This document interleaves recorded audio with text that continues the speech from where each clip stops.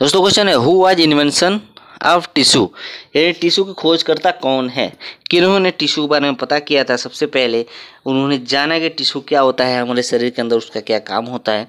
तो चार ऑप्शन है, पहला है कि Robert Hooke, Louis Pasteur Hans और नॉन इसमें से कोई भी नहीं।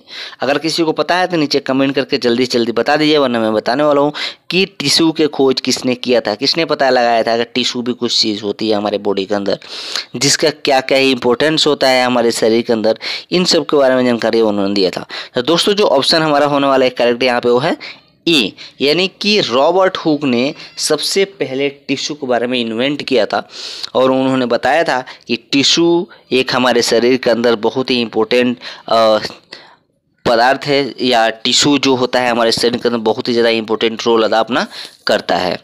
नेक्स्ट क्वेश्चन है कि BCG vaccine is used for जो बीसीजी वैक्सीन होता है, वो किसके लिए यूज़ किया जाता है? कौन से बीमारी के लिए वो वैक्सीन दिया जाता है?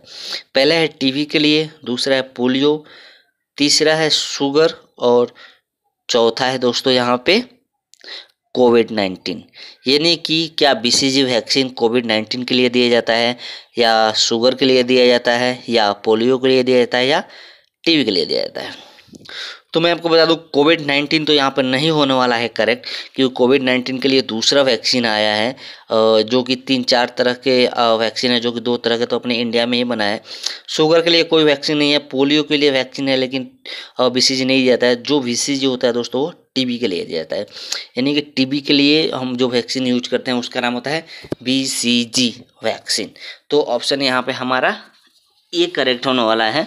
तो चलिए हम ए को करेक्ट कर देते हैं। BCG vaccine is TB